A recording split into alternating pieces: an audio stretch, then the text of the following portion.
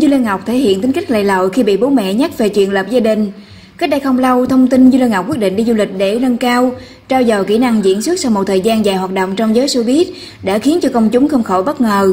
Ngay sau đó mọi động thái từ phía nữ diễn viên đều nhanh chóng thu hút sự chú ý từ giới truyền thông và đông đảo khán giả. Về việc xuất ngoại, hiện tại người đẹp vẫn giữ kín và không chia sẻ quá nhiều với công chúng. Những ngày đầu năm mới, đại gia đình như Lân Ngọc đã có thời gian quay quần gặp gỡ các thành viên. Khi đứng trước các con các cháu trong nhà, bố nữ diễn viên đã đặc biệt gửi lời chúc đến con gái, mong muốn con ngày càng đẹp hơn, cố gắng có một gia đình hạnh phúc, có chồng, có con như cặp anh chị hai, cặp em út.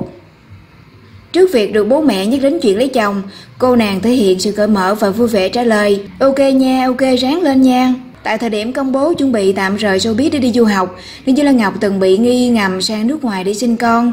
Trước tin đồn này, nữ diễn viên thẳng thắn cho biết Ngọc đi học ngắn hạn thôi à, không có lâu đâu, mỗi nơi học tí, chứ không phải từ bỏ sự nghiệp đâu à. Chỉ là dừng lại không chạy show lất nhất thì mình tập trung hơn.